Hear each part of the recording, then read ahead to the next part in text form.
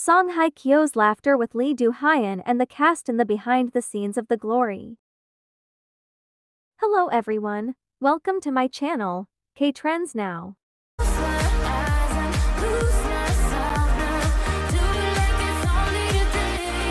The Glory, which focuses on the desperate revenge of a woman who experienced the pain of school violence, boasts a different behind the scenes atmosphere.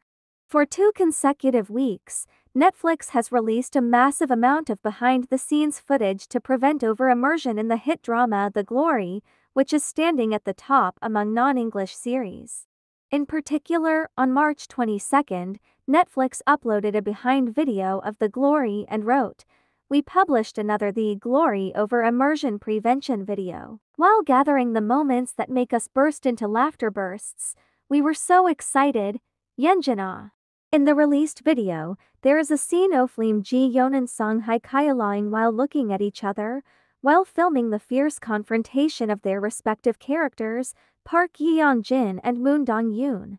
Behind the scenes footage for sweet romantic scenes between Song Hye Kyo and Lee Do Hyun was also revealed. In particular, Lee Do Hyun had a surprised look when he removed a band-aid from Song Hye Kyo's cheek and it fell off more painful than expected. Meanwhile, Song Hye Kyo laughed at Lee Do Hyun's reaction.